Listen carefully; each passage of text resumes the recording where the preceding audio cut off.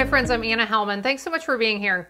When you send your handmade cards in the mail and they have embellishments on them, do you ever worry that they may not get there in one piece? Uh, those raised areas on your cards can cause problems when they go through the post office. So let's talk about a couple of quick solutions to make sure they get there in one piece.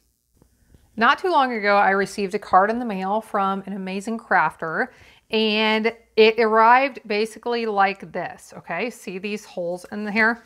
So inside, of course, what coordinates with these holes on the outside are embellishments. Now, if we make flat cards, mailing them is not a problem at all. But when we want to put those pretty and lovely embellishments on them, it can make it a little bit more difficult to make sure they get there and get there in one piece. Now, I have three quick ways that you can help avoid these problems with those embellishments tearing holes in your cards when they go through at the post office. And I will share them here in just a second. Now, I wanted to show real quick because I pulled these cards out to use as my demos. Uh, aren't these butterfly cards beautiful? I created these with a set called Butterfly Brilliance. And if you'd like to see several tutorials on these cards that I did, I will link to those in the video description below. You can take a look. So three ways to mail your cards with embellishments and not have to worry about those raised pieces. The first one, which is probably the best option, is to use some of this thin foam packing material.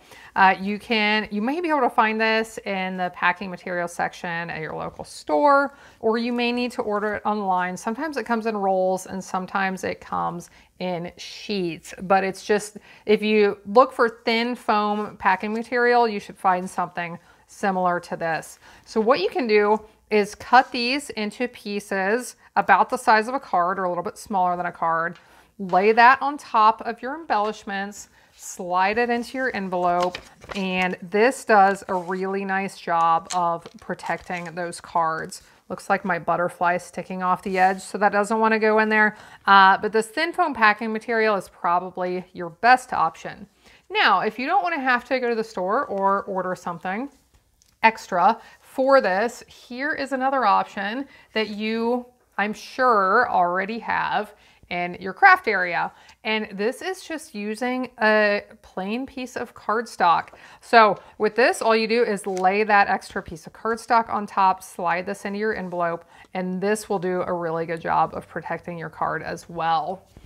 Now, a creative option that I, have received several cards from crafters like this that I'm not sure I would have thought of this, but it's a really interesting idea. Uh, if you don't mind sending your card inside out.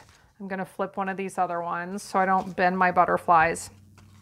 If you don't mind sending your cards inside out, you can actually flip it inside out and it protects itself just like that. So that's another way you can protect those embellishments as well.